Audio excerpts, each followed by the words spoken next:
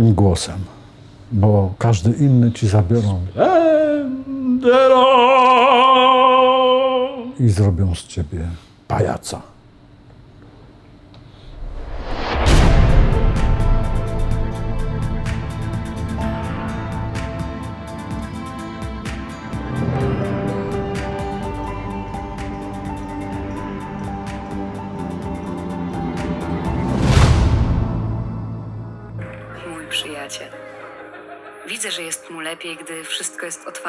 Gdy może podróżować, pracować, być z ludźmi. On nie zrobi czegoś, czego sam nie chce. Ona się boi. Wciąż prosi, żebym się zapisał. A ja nie chcę presji. Mówiła mi o badaniach. Dzień dobry Państwu. Czasami dopiero mocny łyk kawy, bardzo mocnej kawy, przywraca mnie do rzeczywistości, bo zdarza mi się odpływać. Ona się boi. On cały zamknięty w pamięci. A wszystko po to, żeby było bezpieczniej, żeby nam się lepiej żyło. No i właśnie od tego zacznę, witając się z Państwem i namawiając do łyku, łyka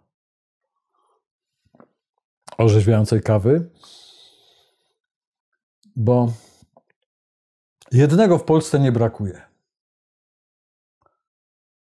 Hipokryzji i reklam propagandy i namawiania wszystkich do zachowań sprzecznych z rozsądkiem. Tego nie brakuje. W aptekach właśnie brakuje podstawowych leków. We wszystkich miastach em, odpowiedzialne osoby raportują, że nie ma podstawowych antybiotyków, nie ma podstawowych leków specjalistycznych. Za to jest mnóstwo szczepionek do wyboru, do koloru, dla każdego. Byleby tylko się na to zdecydował. Dzieje się to w momencie, gdy właśnie organy europejskie wszczęły śledztwo w sprawie procedury zakupu miliarda 800 milionów szczepionek firmy Pfizer. Pod lupą znalazła się pani Ursula von der Leyen, która osobiście prowadziła negocjacje z panem prezesem firmy Pfizer, Albertem Burlą. Oczywiście e, całe urzędactwo europejskie nie posiada się z oburzenia, jak to organy śledcze mogą się zajmować ich działaniami. A okazało się, że były to działania mocno nietransparentne. Spójrzcie Państwo tu takie bardzo oględne omówienie tej sprawy na portalu Interia. A jak okaże się, że popełniono przestępstwa, zarówno przy rejestrowaniu substancji nie do końca sprawdzonych, substancji będących w fazie badań, o których nie można było wówczas, gdy były rejestrowane, stwierdzić, jakie posiadają efekty uboczne, jak działają. A przecież nie było aż tak wielkiego zagrożenia. To nie był tyfus, to nie była czarna ospa, to nawet nie był dyfteryt. Ale za każdym razem, jak tak do Państwa mówię, to odpowiednie organy, rady naukowe Patronajta, rady naukowe Śmego i Owego nie posiadają się z oburzenia i natychmiast ostrzegają wszystkich przed moimi słowami. A proszę zastanowić się tak w głębi swojego własnego rozsądku, co w tych słowach jest nieprawdziwego, co w tych słowach jest niepoprawnego. Dożyliśmy czasów, w których myślenie jest wysoce niepoprawne. Zadawanie logicznych pytań napotyka na nielogiczne odpowiedzi oficjalnej propagandy i winę za całą abstrakcję sytuacji, za kryminogenność tej sytuacji ponosi pytający. Tak oto przemieniły nam się czasy i dlatego dziś chcę Państwu opowiedzieć nieco o bandytach, tych w białych kołnierzykach i tych, którzy dopiero co wyszli z kolonii karnych. No dopiero co w 90 roku. No z punktu widzenia historii to dopiero co. Bandyci jedni i bandyci drudzy. Ich nie dosięgają nożyce cenzury.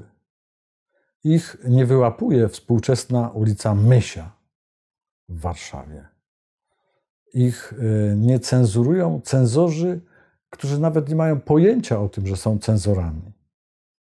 Dziennikarze, tak zwani dziennikarze, tak naprawdę cenzorzy i papkini dzisiejszego świata. Taki papkin wychodzi i opowiada o sobie, co chce, bo jego się nie cenzuruje.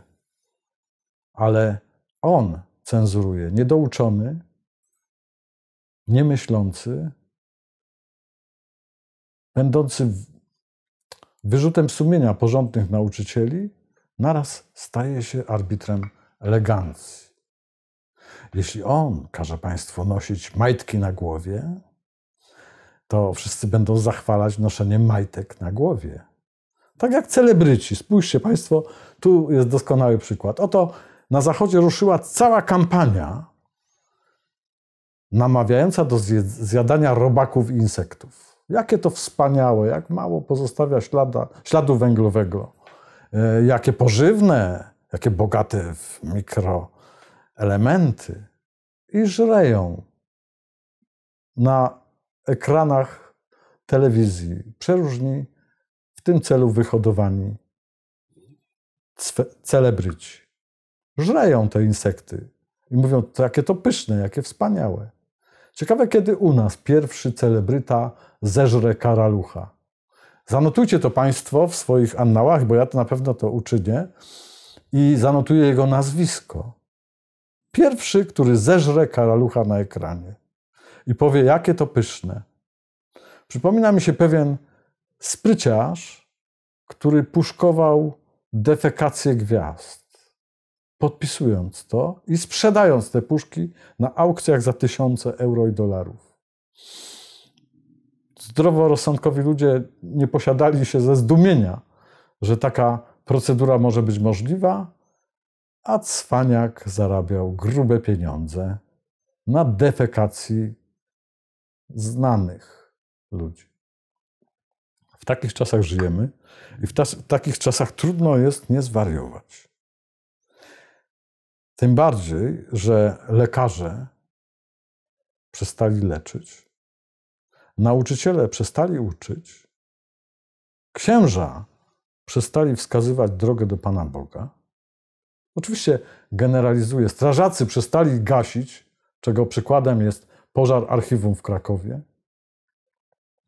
Milicjanci przestali łapać przestępców, a zaczęli nękać ludzi nienoszących maseczek. Czy wypowiadających się niedobrze o celebrytach? A proszę Państwa, najgorszym przypadkiem takiej policji drogowej w Krakowie to jest pełnić dyżur w poniedziałek po południu. Dlaczego? Ano bo tego dnia dobrze kosztujące autko uderzyło motocyklistę. Okazało się, że w środku tego autka siedział komisarz Ryba. Komisarz Ryba, który łączy się z akwarium. Siedział i miał we krwi 0,7. Arbiter elegancji, jego, jego e, wysokość, były rektor krakowskiej wyższej szkoły. Autorytet moralny, wychwalany. Zobaczcie zresztą Państwo tu, jak Kasia Janowska z nim rozmawia, jak się mu tam wdzięczy. Zobaczcie, jak z Kuźniarem Na temat wymiaru Najbardziej sprawiedliwości mnie nasz przeszkadza komisarz Ryba. ta pogarda do prawa i y, kłamstwo. A tu naraz nawalony komisarz Ryba, będący w cywilu Jerzym S. Uderza motocyklistę i jest łapany przez policję. I cóż ta policja biedna ma zrobić? Skręcają się w lansadach. No ale przecież złapali zionie alkoholem, podobno tylko winko. W poniedziałek, szewski poniedziałek. Okazało się, że dla Jerzego S to był wyjątkowo szewski poniedziałek. No i co teraz będzie? Czy okaże się, że to motocyklista łokciem uszkodził lusterko samochodu Jerzego S, rektora Jerzego S, kontrabasisty? Czy okaże się, że ciało motocyklisty e, złowrogo zagroziło samochodowi Jerzego S? Tak może być, bo tak już było w całej y, gamie poprzednich przewinień ce celebrytów. Bo już jest tych mistrzów kierownicy, którzy uciekają, bo na dodatek Jerzy S. uciekał. Mistrz kierownicy ucieka. To nowa rola dla Jerzego S. chyba. Razem z synem mogą to zagrać. A było tych celebrytów już sporo. Pani Beatka Kozidrak, sympatyczna Beat, pani Beatka. E, Pan Najsztub, który okazało się, że w ogóle nie poniósł prawie żadnej kary za potrącenie na pasach. Pan Cimoszewicz. Pan Olbrychski. Pani Gabrielska. Pan Szyc. Pan Stockinger. No można tak ciągnąć e, tę, tą defiladę mistrzów kierownicy. Tylko tu mamy do czynienia z tym, że na gazie podwójnym jeszcze prób- próba ucieczki. No ale autorytety moralne już tak mają. No. Jerzy S., który często wypowiadał się na temat wymiaru sprawiedliwości, widzicie. Jerzy S., który często e, robił za arbitra elegancji i moralności, naraz ucieka jak pospolity przestępca. Nie przymierzając jakiś wańka albo kiełbasa. Panie Danielak, ładnie to tak.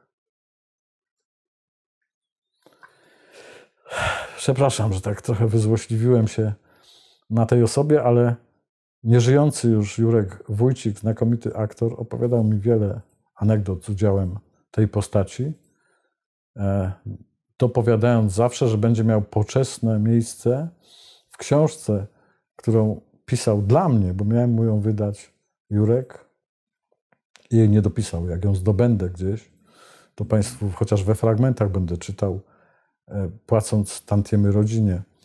E, Aktor Wiesiu Wójcik e, mówił, że Jerzy S. będzie miał pocze- poczesne miejsce w jego księdze hamów polskich. I dodawał dlaczego. I rzeczywiście potrafił to uzasadnić na wielu konkretnych przykładach. Więc miałem z panem Jerzym S. kilka okoliczności. Kręciliśmy szkołę żon w Pieskowej Skale i to się dosyć udało, bo rzeczywiście sprawnie i szybko poszło. I razem też y, prowadziliśmy koncert, który, olbrzymi koncert, który zorganizowałem jako pomysłodawca wielkiego konkursu scenariuszowego Trzy Korony Małopolski w Krakowie. No było to już dawno, potem konkurs spsiał, bo, bo musiał, bo w, zresztą pogoniono mnie z, z mojego własnego konkursu, który wymyśliłem e, i który doprowadziłem do finału, wielkiego finału, wielkim koncertem w Operze Krakowskiej z udziałem pani Walewskiej i wielu innych gwiazd. Tam Jerzy Sztur właśnie też występował, jako rektor wówczas szkoły teatralnej. A potem się okazało, że mnie pogoniono z mojego własnego konkursu. No nie wyszło to na zdrowie konkursowi, bo spiał. A naprawdę był to konkurs, który bardzo fajnie rokował. I to nie jakimiś byle jakimi filmiczkami, które zwykle robi się w Krakowie, tylko powstawały fajne, dobre scenariusze. No ale tak, przepraszam, że tyle przynudziłem, mówiąc o osobistych rzeczach. Teraz przejdziemy do opisu rzeczywistości kryminalnej, która w ubiegłym tygodniu zafrapowała mnie dosyć mocno. Bo jak już Państwu mówiłem, dziś jak rozpoznać bandziora? Myślicie, że jest nieogolony e, i e, ma porozbijane łapy, czy coś tam pod okiem, czy jakąś bliznę? Nic podobnego.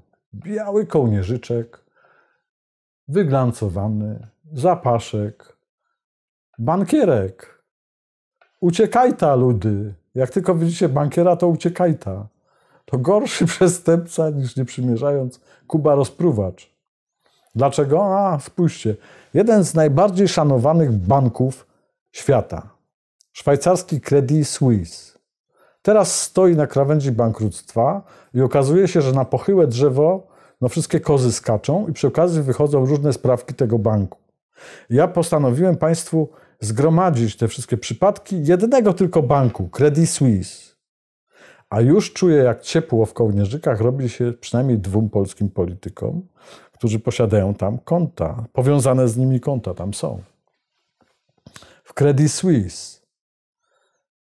A skąd te pieniążki, pan, panowie, bo to o panów chodzi, skąd te pieniążki, panowie, tam zgromadziliście, co? A może Krajowa Administracja Skarbowa sprawdziłaby, którzy politycy posiadają swoje rachunki, powiązane z nimi rachunki e, w bankach zagranicznych, chociażby w takim Credit Suisse, co? Ciekawy rebusik.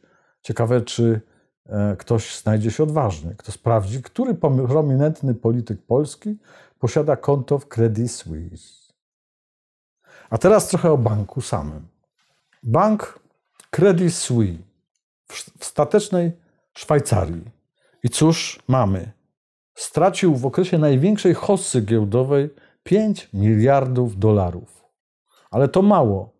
Zgromadziłem więcej występków związanych oficjalnie z Credit Suisse, który stoi na krawędzi bankructwa. A dla nas jest to o tyle ważne, że nie tylko są tam konta przynajmniej dwóch polityków, ale przecież Credit Suisse odgrywał bardzo dużą rolę w tak zwanej aferze frankowej w Polsce. Cofnijmy się do 2008 roku, kiedy był wielki kryzys bankowy. Akurat z tego wielkiego kryzysu bankowego, gdzie um, upadł Lehman Brothers, Credit Suisse wyszedł obronną ręką, ale już wtedy. E, e, kadra banku nawiązała podejrzane kontakty z władzami Mozambiku, afrykańskiego państwa z dosyć wątłą strukturą finansów. I cóż się stało?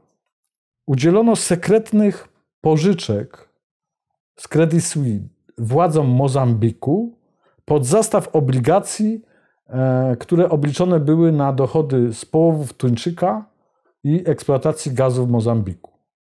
Należy dodać, że do dziś w Mozambiku nie eksploatuje się gazu, a połowy tuńczyka są dosyć wątpliwe.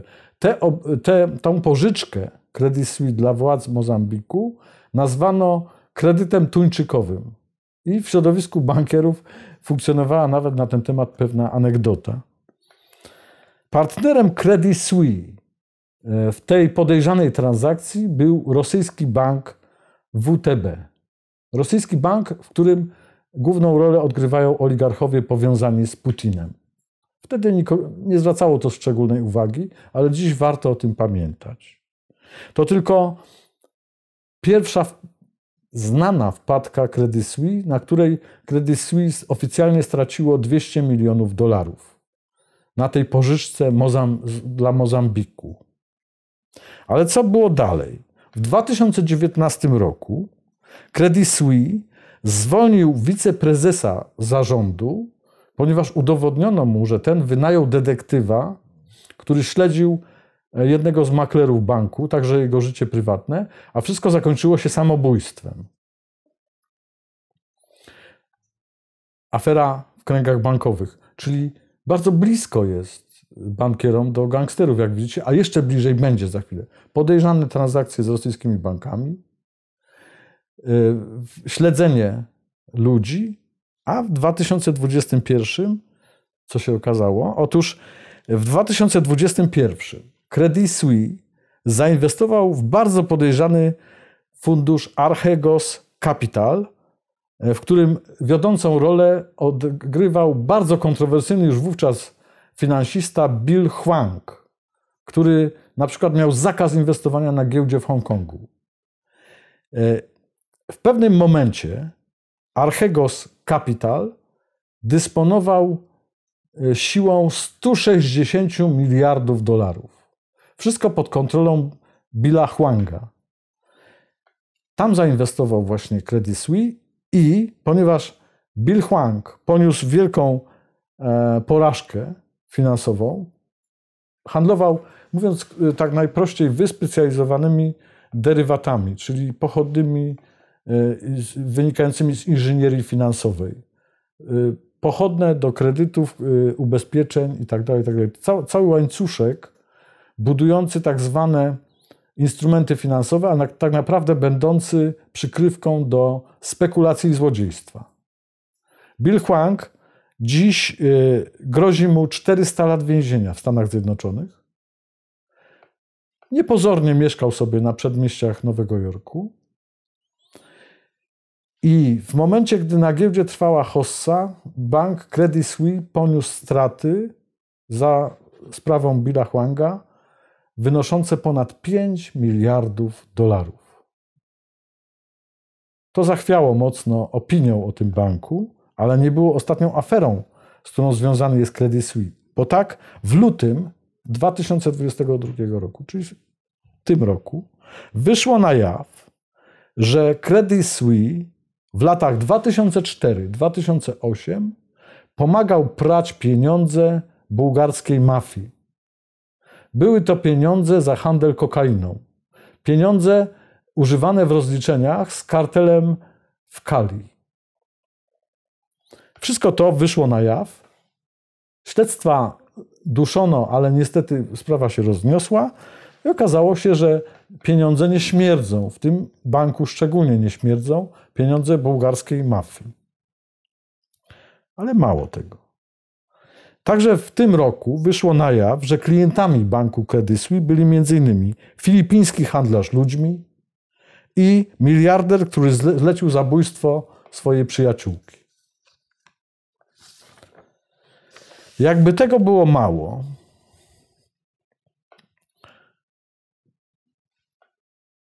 Credit Suisse stwierdzono bardzo wiele lokat wenezuelskich. A co się dzieje w Wenezueli, to wystarczy, że Państwo e, odwiedzicie internet, zobaczycie. Lokat naftowych wenezuelskich, powiązanych zresztą z innymi. I także w tym roku, ten rok jest straszliwy dla Credit Suisse, bo także w tym roku wyszła na jaw nowa afera. Oto Credit Suisse prosił o niszczenie dokumentów mówiących o udzielaniu przez bank Credit Suisse pożyczek rosyjskim oligarchom pod zastaw jachtów i nieruchomości. Credit Suisse prosił y, w tajemnicy władze rozmaitych funduszy, żeby zniszczyły u siebie te dokumenty. Nie udało się wszystkich zniszczyć, sprawa wyszła na jaw. Ta czarna historia, jak mówię, ma też y, kilka polskich wątków. Pierwszy to są politycy powiązani z Credit Suisse, a drugi to na, niech nad Credit Suisse zastanowią się polscy kredytowicze, frankowicze. Tak w pigułce zebrałem Państwu y, czarną księgę Credit Suisse, ale gdyby tak pogrzebać w większości dużych banków światowych, okaże się, że jest tam mnóstwo pieniędzy, na których jest krew, pot, łzy, niewolnictwo, handel ludźmi i najgorsze z możliwych przestępstw. Bankierzy mają wyjątkowo pojemne sumienia. I tak jak dawno straciliśmy już zaufanie do rozmaitych autorytetów, tak też tak zwani finansiści są dziś gorsi niż napotkany na ulicy przestępca, bo ten tylko zabierze nam portfel, a finansista może nam zabrać życie, cały dorobek i wszystko, czym dysponujemy, może nam zabrać dobre nazwisko, wszystko, co mamy. Strzeżcie się finansistów. Starajcie się upraszczać swoje operacje finansowe. Starajcie się rozumieć każdy swój finansowy ruch. Nie dajcie się e, przegadać, porwać doradcom inwestycyjnym. Sam miałem złe doświadczenia e, z, e, z tak zwanymi lokatami, polisolokatami, które sprawiły, że straciłem sporą sumę pieniędzy i nauczyłem się rozumu. Jak się nie przewrócisz, to się nie nauczysz. Tak jest na łyżwach, na rowerze, na nartach i w, i w działalności finansowej. Namawiam Państwa do finansowej ascezy, jeżeli chodzi o działania. Nie podejmujcie ruchów, których nie rozumiecie. I nie dajcie się doradcom, których wszędzie pełno, bo oni zarabiają tylko na tym, że my mamy nieuwagę. Na momencie naszej nieuwagi zarabia cała czereda tak zwanych finansistów. Każdą umowę kredytową czytajcie od deski do deski. I nie inwestujcie za pomocą doradców, tylko własnego, zdrowego rozsądku. Za pomocą porad rodzinnych i własnego myślenia. Przepraszam, że takie znowu dydaktyczne mam wycieczki, ale warto w tych trudnych czasach także na tym się skupić. Teraz, cóż dalej? Prokuratura Europejska wszczęła śledztwo w sprawie zakupu szczepionek. EPPO. To ta instytucja się nazywa, warto z tego wszystkiego uczyć. E, w sobotę rozpoczęło się śledztwo w sprawie zakupu e, szczepionek przeciw COVID. W centrum uwagi Ursula von der Leyen. Nieprawidłowości wytknął pani Ursuli już Europejski Trybunał Obrachunkowy. Komisja Europejska, którą rządzi e, Frau von der Leyen, odmówiła ujawnienia szczegółów rozmów von der Leyen z Pfizerem. A chodzi o 1,8 miliarda szczepionek. Świetnie. I teraz chcę Państwu opowiedzieć o innym przestępcy, bo skoro o przestępcach już mówimy, to warto się skupić na, na, na takich. Czyli przestępca, o którym mówię od kilkunastu komentarzy, Jewgenij Prigorzin. Skąd się wziął, kim jest? Znowu pigułka, żeby Państwo mieli orientację, bo trudno tego y, gromadzić to wszystko i, i obracać tym, y, bo nam to zajmuje pamięć. Więc postarałem się taką skondensowaną pigułkę o Prigorzynie, zwanym kucharzem Putina, przygotować. A więc kim jest Jewgenij Prigorzyn? Przypomnę, twórca y, wojennej korporacji Grupa Wagnera, prywatnej armii Grupa Wagnera. Kim jest? Mówiąc krótko, kwadraciarzem, Ci z Państwa, którzy są starsi, pamiętają jeszcze żargon e, bandycki. Kwadraciarze to byli przestępcy włamujący się do mieszkań, czyli na kwadraty tak zwane. To ich odróżniało od tak zwanych dziesioniarzy. Dziesioniarzy że to byli rozbojowcy, czyli ci, którzy, y, był wtedy paragraf 210 bodaj, kodeksu karnego, o rozbojach i rozbojowcy byli, no, napadali po prostu na, na ulicach w ciemnych zaułkach, a kwadraciarze obrabiali mieszkania.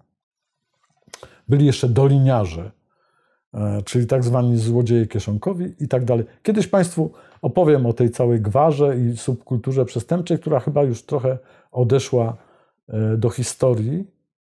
To jest coś między Grzesiukiem i jego opisami, świetna proza polecam zresztą, a czasem dzisiejszym. To in between, między, jak to mówią anglosasi. Ja to zapamiętałem jeszcze z czasów chłopięcych. Wtedy też y, tatuowali się tylko bywalcy kryminałów. Tam belkę za 5 lat sobie tatuował na pagonie, czyli na ramieniu. Drugie 5 lat następną belkę, a gwiazdkę to już długoletni więzień.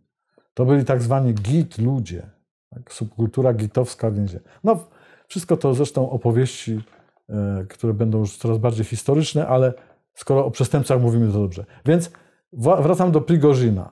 Prigorzyn był zwykłym złodziejem. Od najmłodszych lat trudnił się najpierw okradaniem mieszkań, potem rozbojami. Zarzut, miał nawet zarzut, za, za co powędrował z wyrokiem 13 lat do kolonii karnej. Napadł kobietę i zabrał jej, pobił ją, zabrał jej buty, palto i chciał jej zabrać kolczyki. W tym celu dusił ją, ale nie zdążył jej wyrwać kolczyków z uszu. To jest Jewgenij Prigorzyn. Obecnie bliski kolega Władimira Władimirowicza Putina.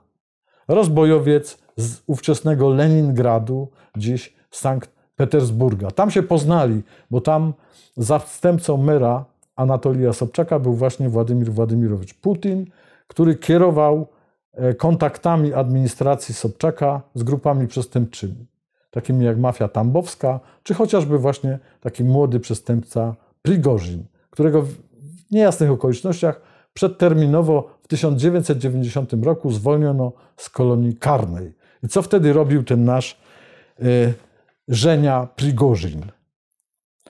No, urodzony w 1961 roku, kwartijny, kwartijny wor. Kwartijny wor, czyli złodziej mieszkaniowy.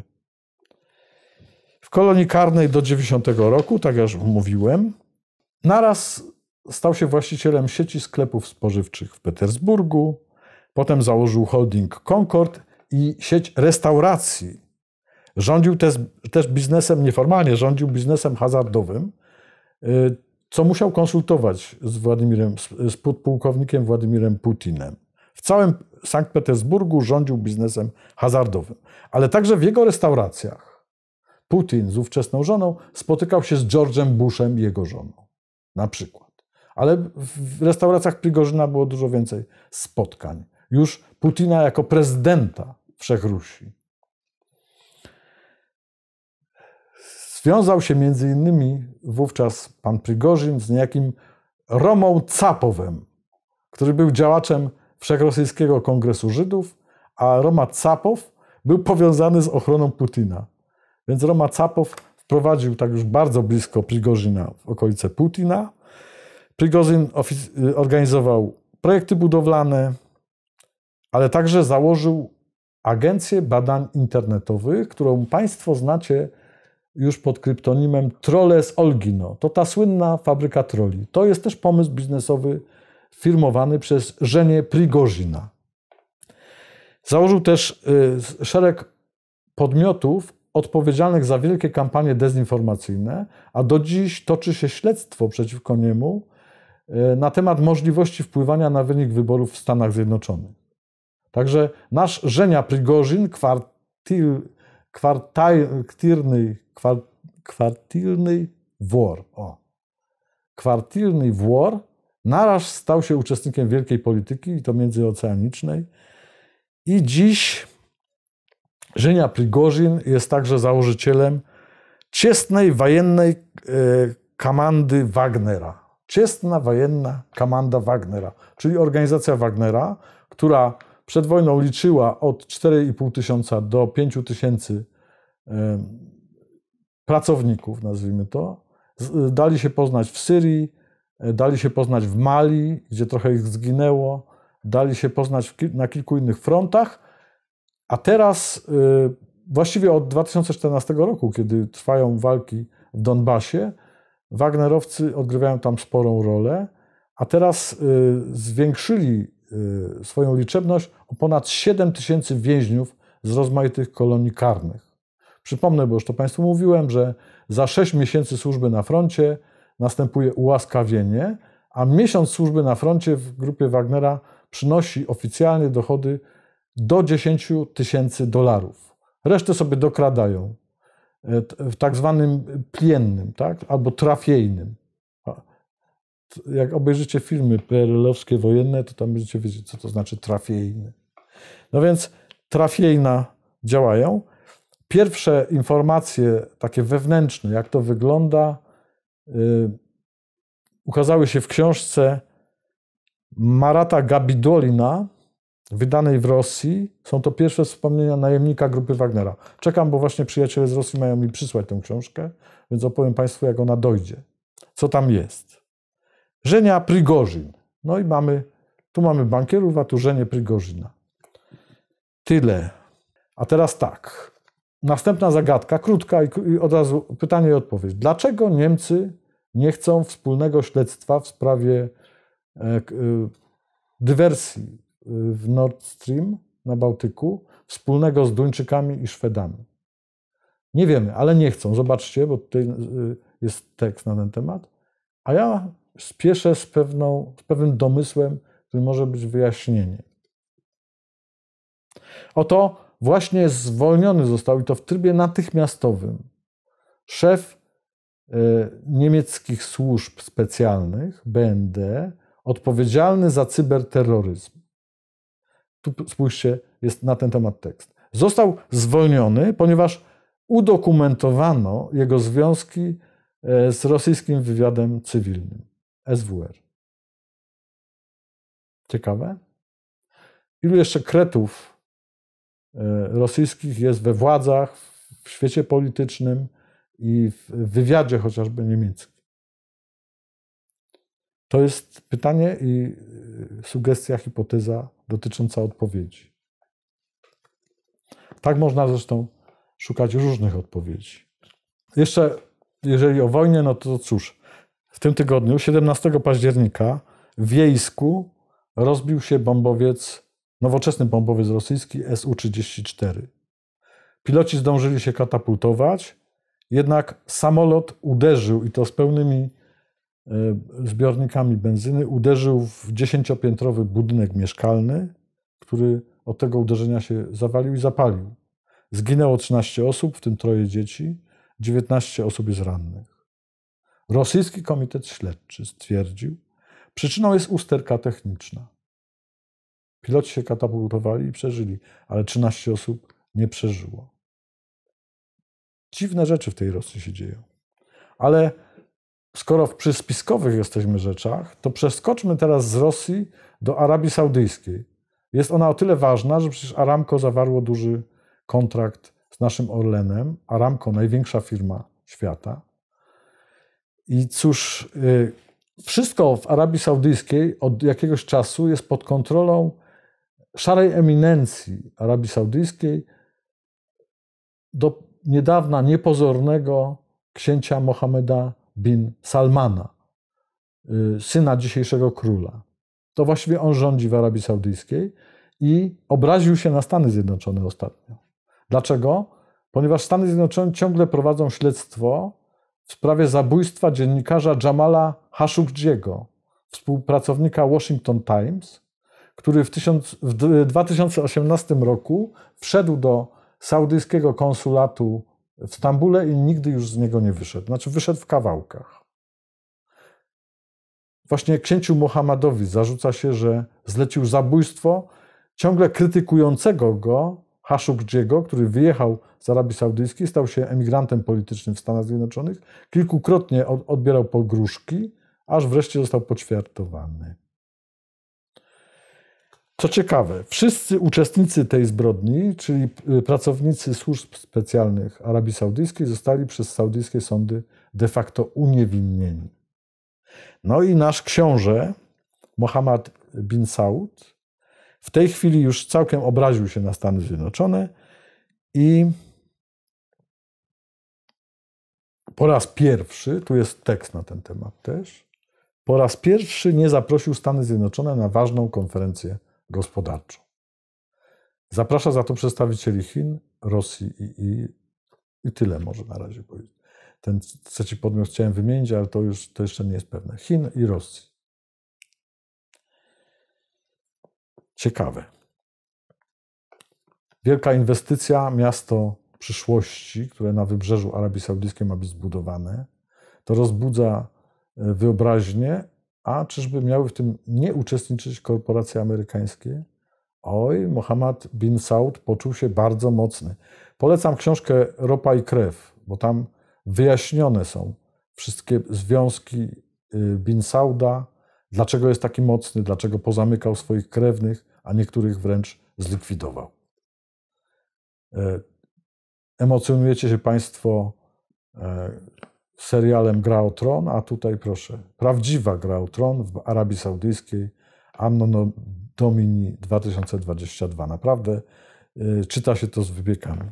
No i oczywiście nasz wywiad, nasz komentarz tygodnia nie byłby pełen, gdyby nie wspomnieć o naszej ulubienicy i agentce Mossadu Ghislaine Maxwell. Niedawno dostała ponad 20 lat więzienia za handel nieletnimi dziewczynami, wspólnie z Jeffreyem Epsteinem, który już exitus mortus. A teraz udzieliła pierwszego wywiadu. Nasza Ghislaine Maxwell staje się gwiazdą Hollywood, którą zawsze zresztą była. z Epsteinem.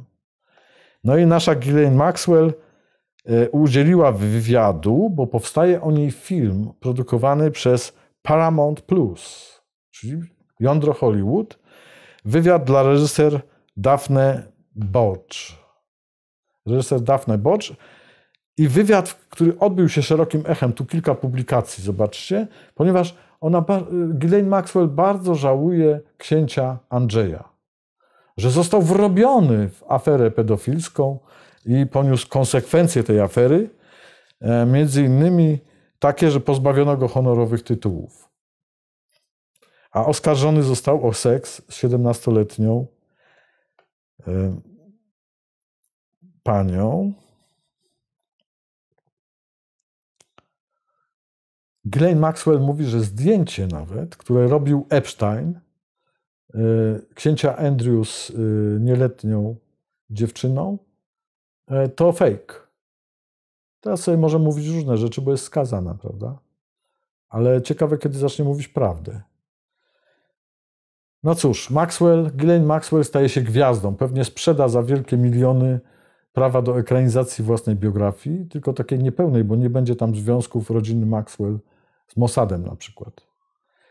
E, zobaczcie Państwo, bo w ogóle wokół, wokół Hollywood robi się dosyć gęsto. Właśnie przeciwko synnemu producentowi Harwayowi Weinsteinowi zeznawał Mel Gibson. O, zobaczcie, tu jest. A ja nie omieszkam sobie złośliwie przypomnieć, że e, taką bliską przyjaciółką e, pana Weinsteina była między innymi Weronika Rosati. Weronika Rosati, zobaczcie, tu jest cała galeria zdjęć wspólnych Weinsteina i panny Rosati.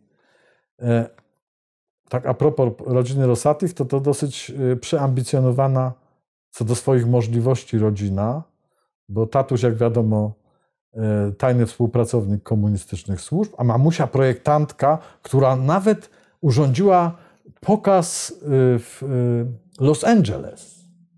Ma tylko pecha. Moja znajoma, e, bardzo bogata kobieta, mieszkająca e, na Anaheim Hills w Los Angeles, e, w takiej rezydencji, która naprawdę robi wrażenie, wraz z mężem. Polacy, którzy uczciwie i bardzo porządnie dorobili się majątku, ale też mają szerokie koneksje w świecie Los Angeles, w, świecie, w śmietance towarzyskiej Los Angeles, opowiedzieli mi kulisy pokazu mody zorganizowanego przez, panią Teresę Rosati. Oj, bardzo ciekawe są te kulisy.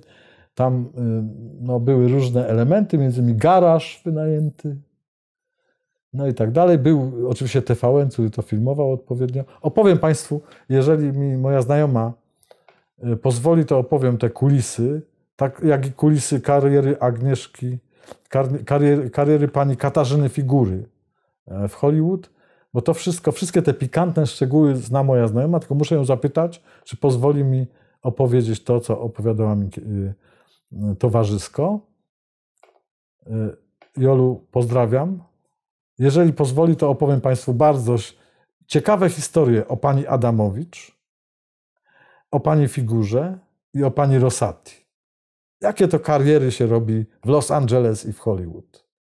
Mają to nieszczęście, że porządni Polacy są także w śmietance towarzyskiej Los Angeles i dużo wiedzą. A zdarzyło mi się odwiedzać naszych właśnie y, patriotycznie nastrojonych Polaków, no i znam tę historię. Stąd. Wróćmy trochę do Polski i trochę będzie o spekulacji. Najpierw tak. Zwróćcie Państwo uwagę, że fundusze inwestycyjne, które zainwestowały bardzo duże pieniądze w mieszkania w dużych polskich miastach, takich jak Warszawa, Kraków, Wrocław, teraz sztucznie starają się utrzymywać ceny mieszkań, żeby nie notować spadku wartości swoich akcji. I tak zwróćcie uwagę na ciekawy tweet. Oto e, fundusz Heimstadt-Bostat e, wykupił właśnie 400 mieszkań na Mokotowie w Warszawie, a w Polsce posiada już 3000 mieszkań. Wszystko po to, żeby sztucznie utrzymywać cenę mieszkań. A one i tak będą, ich cena i tak będzie spadała. To ciekawe, ale skoro fundusze inwestycyjne, no to znowuż taka mała pigułka, wróciłem pamięcią do Narodowych Funduszy Inwestycyjnych, czyli programu, który forsował obecny europoseł Janusz Lewandowski. On by chciał już o tym zapomnieć, ale ja mu będę to przypominał, ponieważ była to jedna z największych afer gospodarczych w dziejach Polski nowożytnej. Do Narodowych Funduszy Inwestycyjnych, których było 15, 14 i 15, taki no, kiedyś opowiem dokładnie, weszło 512 polskich firm i przedsiębiorstw. Jak myślicie Państwo, ile z nich wyszło? Po wszystkich machinacjach, które umożliwił Janusz Lewandowski. Odpowiadam, 12. W maszynie losującej zniknęło 500 przedsiębiorstw, nieruchomości do nich zależne, należne, pieniądze na kontach, aktywa zagraniczne. Wszystko zniknęło. Nie ma. Gdzie się podziało? To ciekawe pytanie. Już mówiłem o tym w kilku komentarzach dawno temu. Wrócę i opowiem Państwu dzieje funduszy inwestycyjnych, między innymi pana Lazarowicza, który wylądował w RPA, uratował życie, przestępca. Uratował życie i pieniądze. Pana Głowali, który stracił głowę dosłownie. Pana Wieczerzaka, który mi się kiedyś spowiadał. Tak dziennikarzom to się zdarza, że różne gagatki się e, uda wyspowiadać. Wszystko to Państwu opowiem kiedyś, będzie więcej czasu. Trochę dalej, Ukraina. Znowu coś mi pachnie niezbyt ładnie, ale tutaj macie Państwo informację.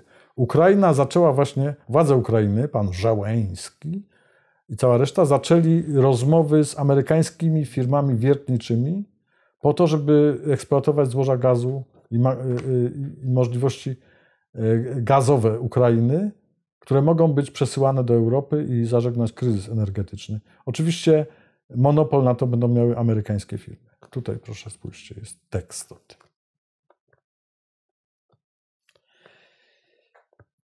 Co możemy ciekawego? Przeskoczmy do Watykanu.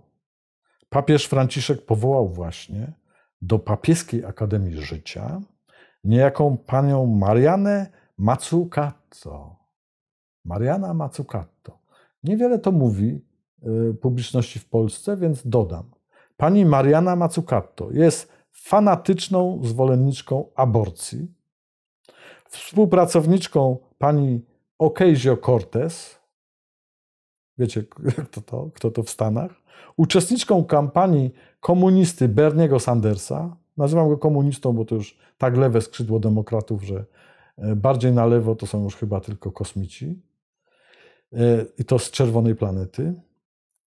Była doradcą lewackiego rządu Szkocji, wielką szychą w e, Światowej Organizacji Zdrowia. No i oczywiście jest współpracowniczką naszego nieocenionego profesora Klausa Schwaba i World Economic Forum.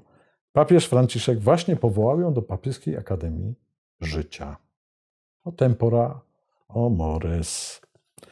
No to znajdując się jakby na tym samym diapazonie, poinformuję Państwa, że właśnie zaczął się 20 zjazd Komunistycznej Partii Chin. Już e, następują pełne ekstazy e, raporty e, zachodnich gazet z tego zjazdu, co tam się nie wyrabia, co tam się nie dzieje. No, jest to wydarzenie ogromne. Zobaczymy, czy panu Xi Jinpingowi uda się wywalczyć trzecią kadencję. Będzie to rzeczywiście niezwykłe osiągnięcie. Trzecia kadencja sprawi, że Xi Jinping stanie się rzeczywiście dyktatorem, prawdziwym dyktatorem Chin. Jakim kosztem, jak to uzyska? Rzeczywiście zachodnie środki przekazu relacjonują godzina po godzinie. Wystąpienie, między innymi streszczone jest wystąpienie tak jak wystąpienia Breżniewa kiedyś, to teraz streszczone jest wystąpienie dwugodzinne na zjeździe Xi Jinpinga. Wszystko to ciekawe, zobaczymy. No skoro już o Ameryce mowa, to zobaczcie dwie publikacje. Jedna z y, Tylera Dardena, czyli tego takiej, takiej zbiorowej kreacji, a druga już Daily Mail, o tym, że oto w Boston University właśnie y, przeprowadzane są badania nad nową odmianą wirusa SARS-CoV-2. Ten wirus y, pierwotny z Wuhan ma być wzbogacony o białko kolcowe wariantu Omikron. Ponieważ wariant Omikron jest bardzo zaraźliwy, najbardziej zaraźliwy, ale też najłagodniejszy, więc wyjęto białko kolcowe zaraźliwe wariantu Omikron i wkłada się do wariantu Wuhan. I pierwsze testy w Boston University przeprowadzone dały już takie wyniki, że na 10 myszy zainfekowanych nowym wirusem 8 padło od razu. Zdechło. E, bo dziś mówi się, że umarło. Umierają ludzie. Zwierzęta zdychają. Wiem, wiem, to budzi bardzo duże emocje, ale porządek semantyczny ma dużą wartość w myśleniu. Więc z obowiązku kronikarskiego relacjonuję również i to, czym bawią się teraz w Boston University. Nasz przestępczunio, celebrytunio przestępczunio, Wojciech twórca Pili Pili na Zanzibarze. To fajna piosenka będzie, prawda? Może ją napiszemy razem. Pili Pili na Zanzibarze. Można oddać Wojtusiowi pieniążki w darze. Tak? Wojtuś ma wasze pieniążki, celebrysie różne z Warszawki i okolic, a teraz wy się denerwujecie, że on was straszy. Zobaczcie, tu jest publikacja. A denerwujta się dalej. A kto wam kazał jeździć na Zanzibar i szpanować przed y, rodakami, że oto jesteście tacy celebrity, a oni tylko nad Bałtykiem? No to teraz się martwcie, jak Wojtuś pili pili waszymi pieniążkami żongluje. Nawiasem mówiąc, Wojtuś jest poszukiwany listem gończym w Polsce, ale jakoś nie można go znaleźć. Wszyscy wiedzą, że jest na Zanzibarze, pokazywane są zdjęcia. No niestety polska prokuratura i służby nie potrafią go znaleźć. Jest to sytuacja podobna y, do moich doświadczeń kiedyś. Otóż poszukiwany był listem gończym i to bardzo intensywnie przez wszystkie służby pewien baron paliwowy, e, twórca firmy BGM. Pojechaliśmy do niego do Alicante, zrobiliśmy z nim wywiad, przyjechaliśmy do Polski i wszyscy zdziwieni. Jak to? Przecież on jest poszukiwany listem gończym. On tam w Alicante jeździł Range Roverem z polskim GPS-em. Ale polskie służby go nie mogły znaleźć. Znaleźli go dwaj dziennikarze z Polski. Nagrali z nim wywiad, pokazali go publicznie. I dalej nie można było znaleźć tego pana, aż w końcu znudzony siedzeniem w Alicante sam zjawił się w prokuraturze y, apelacyjnej w Krakowie, wszedł i powiedział: Nazywam się tak i tak. A mówią: Idź pan, nie rób se żartów, ale ja naprawdę nazywam się tak i tak, jestem poszukiwany listem gończym. No to poleciano do prokuratora prowadzącego sprawę, znam to z pierwszych ust, i powiedziano: Zgłosił się. Nie, to jakiś wariat, pogońcie go. Ale kamery zarejestrowały rzeczywiście ten aresztowany został w końcu, ale to trwało półtorej godziny, zanim go e, aresztowano na portierni e, prokuratury apelacyjnej w Krakowie, bo mu się już znudziło ukrywanie. A tak pewnie skończy się historia Wojtusia z Zanzibaru, czyli koszałka opałka, który wywiódł w pole polskich celebrytów.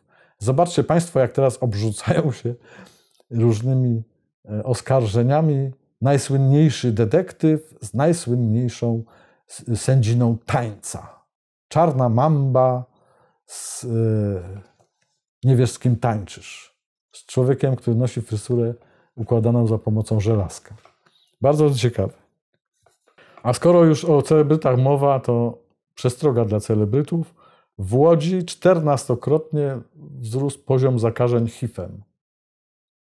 Pewnie nie tylko w Łodzi, ale ostrzeżenia płyną z różnych stron. Zobaczcie Państwo, w porównaniu do roku 2020, w tym roku 14 razy więcej zakażeń HIV.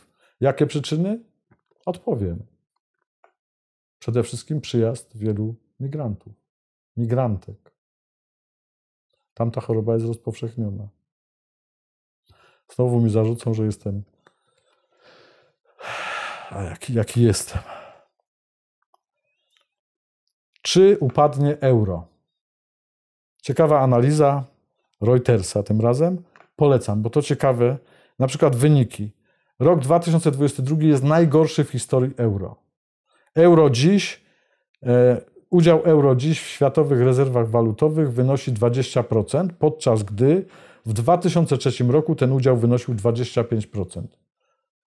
E, dziś e, euro straciło 16% swojej wartości w stosunku do dolara i to przez rok.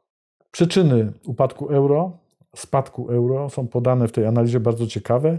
Polecam, zobaczcie Państwo i poczytajcie. W Stanach Zjednoczonych dziś, czyli we wtorek 18 października, zakończono podawanie cyklicznych danych dotyczących statystyki zakażeń COVID-em. No, możemy się spodziewać, że Humpty Dumpty, czyli urodzony w niedzielę, za jakiś czas też wyjdzie i powie: Zawieszamy już notowania giełdowe COVID-a. Bo to tak jak notowania giełdowe, to się tak, mniej więcej taki wpływ też miało na gospodarkę. Zobaczymy, y, czym to się skończy, bo właśnie dwie publikacje, zobaczcie Państwo. E, w Chinach znowu straszą trzema wariantami nowego wirusa, który oczywiście wygrzebano w jaskiniach chińskich i gdzieś tam y, nietoperz lisi się przewija, różne inne. Czyli bajki chińskie, ciąg dalszy, ale co wylezie z laboratoriów, nie wiadomo. Już przestali się ludzie bać tak mocno COVID, już ich tak można, nie, nie da się nastraszyć. Nie przestraszyli się małpiej ospy, bo okazało się, że na małpią ospę to raczej chorują ludzie o tyłozwrotnych przyzwyczajeniach. No więc szuka się coś nowego. Dwa, dwie nowe publikacje, warto się zapoznać. Na koniec chcę Państwu polecić książkę, a właściwie film. Film dokumentalny oparty na książce Roberta F. Kennedy'ego Jr., książce, którą już Państwu przedstawiałem i reklamowałem. The Real Anthony Fauci. Prawdziwy Anthony, Anthony Fauci. Ciekawy film, ciekawe kiedy zostanie przetłumaczony na nasz język i udostępniony na polskim rynku, ale już obejrzałem naprawdę fajne, dobrze zebrane kompendium wiedzy na temat tego straszliwego staruszka, bo już przekroczył 80 lat, który miał tak ogromny wpływ na załamanie gospodarki w ciągu ostatnich dwóch lat. Antony Fauci, jedna z postaci, które w historii będą, którymi w historii będzie straszyć się dzieci. Podobnie jak zresztą bezczelnym panem Daszakiem, który nie widzi żadnej swojej winy w tym, co wydarzyło się w świecie. No ale to y, zobaczymy. Chcę Państwu e, zarekomendować także pierwszy audiobook, który wyprodukowaliśmy. To jest audiobook e, powieści Szlak trafił w wykonaniu, świetnym wykonaniu, męski głos Artura Dziurmana. Już jest dostępny u nas. Taki eksperyment, jak ten audiobook będzie cieszył się pewną popularnością, to zaczniemy produkować następne. I tak rozszerzymy e, swoją ofertę dla Państwa. Dziś zresztą będzie dużo premier, zaraz będę o tym mówił. A teraz chcę Państwu życzyć przede wszystkim dobrego samopoczucia i zdrowego rozsądku, który sprawia, że nie wpadamy w panikę i nie poddajemy się owczym pędom. Owcze pędy niech przebiegają obok nas, bo my życzymy sobie zdrowia i wolności. Do zobaczenia.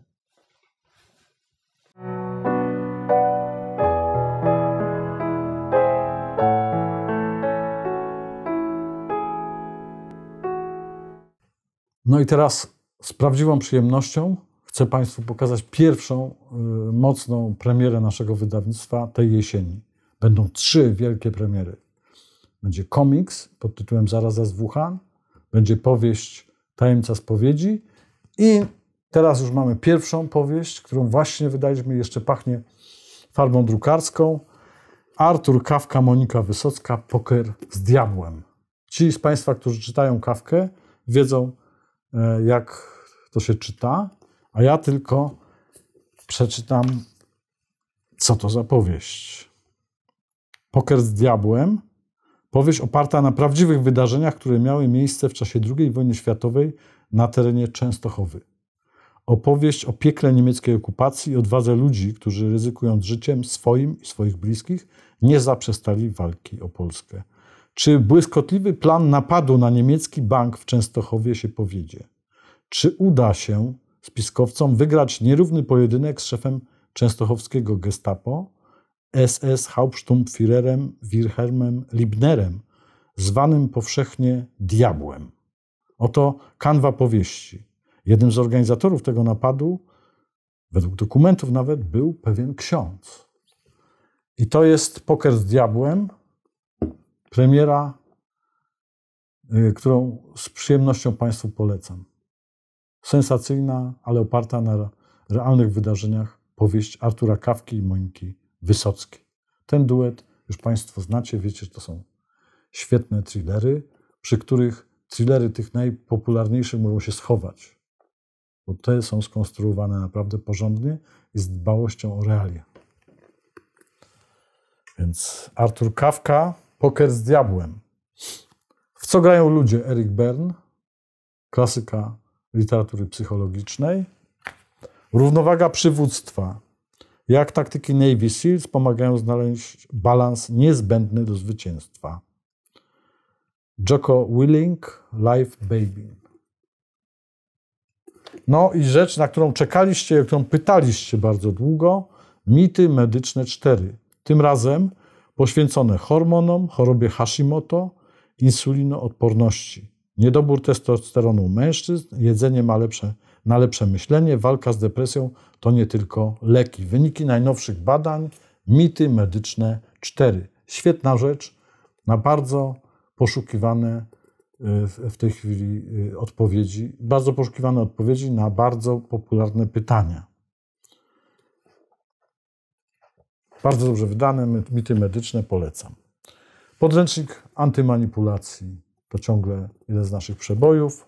Niebezpieczne sąsiedztwo, jedna z powieści Artura Kawki, których całą już serię mamy do dyspozycji dla Państwa. Rozdarcie, powieść Antyutopia Maurycego Nowakowskiego, którą reklamuje sam Graham Masterton, twierdząc, że to świetna y, powieść. Maksymilian Kolbe, komiks opowiadający o życiu Maksymiliana Kolbe. No i może jeszcze Mircyl, zdrowa komedia szpitalna, także wydana przez nas książka. Zapraszam.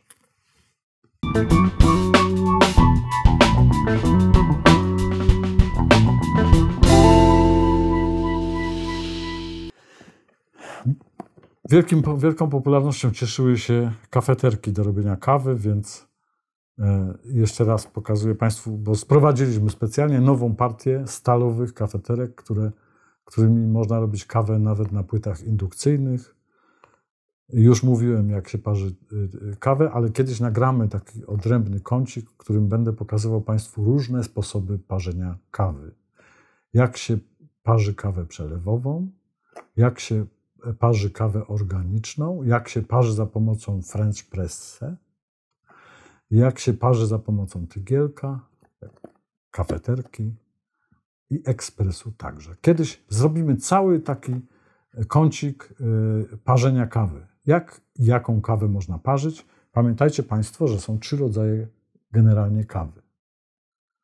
Jest kawa liberica, bardzo mało popularne ziarno, ale istniejące i dobrze smakujące. Robusta, bardzo kofeinowa, ale z mniejszymi wartościami smakowymi. I arabika, w której kryje się cały ocean smaków, kompozycji e, i przestrzeni smakowej kawy. To są trzy generalne gatunki rozmaitych krzewów, a e, sama arabika dzieli się no, na kilkaset różnych odmian, w zależności od tego, gdzie jest uprawiana, w jaki sposób zbierana, w jaki sposób suszona, w jaki sposób transportowana. No, mnóstwo, mnóstwo zmiennych i te kawy też są inne, inaczej smakują. Najdroższa jest kopiluwak. To jest y, ta słynna kawa, którą uzyskuje się z odchodów pewnych zwierzątek. Bardzo droga jest także Jamajka Blue Mountain, wspaniała. No i tak dalej, i tak dalej. Będę Państwu opowiadał o kawie, bo się, jak się rozgadam, to to nie przestanę. Może kiedyś nawet warto byłoby zrobić cykl filmów opowieści kawy. Na razie kawiarka. Włoska kawiarka Pedrini. Już praktykowałem, zaręczam, bardzo dobra, oleista, gęsta kawa. Tu dla luksusu jeszcze, cóż mamy? Smoke and mirror, smoke and mirror, czyli dym i lustro e, z francuskiej manufaktury Rose and Rose. Dobrze pachnie. Słynna już menta religiosa. Niezwykły zapach też z Rose and Rose. Dla zdrowotności słynny kordyceps, o którym już powiedziałem wszystko. Niektórzy mówią na mnie pan kordyceps, ale naprawdę jem kordyceps i utrzymuję się w jakim takim zdrowiu. Nie łapią mnie różne modne zarazy z, y, z różnych stron. Więc chyba coś ten kordyceps daje. Pozdrawiam.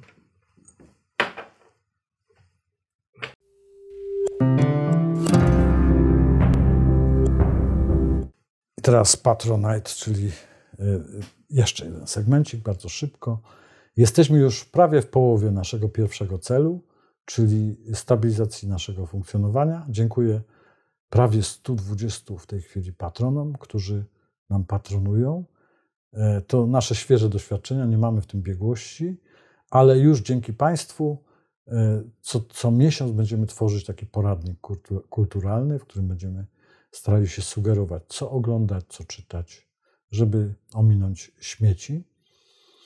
I y, co więcej, też stworzymy taką księgę, w której będziemy notować naszych patronów i tam będziemy